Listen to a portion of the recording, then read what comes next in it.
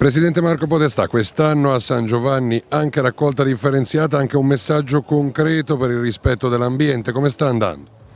Sì, sta andando bene, direi procediamo e miglioriamo di giorno in giorno. Devo dire che abbiamo dovuto prenderci un po' le misure perché non è tutto semplice, però siamo riusciti riorganizzandoci un po', abbiamo un'ottima percentuale, direi siamo oltre il 65% e stiamo crescendo in questo. Il nostro obiettivo è superare il 70% e anche dare un messaggio ai cittadini che si può fare, si deve fare per un risparmio. Noi abbiamo visto che impegnandosi diventa semplice poi la questione, anche se inizialmente bisogna prendere un po' di pratica, poi soprattutto con i nostri numeri, migliaia di persone ogni sera, non è così banale. E beh, ma se queste sono le percentuali, Presidente, finirete col battere il Comune di Imperia.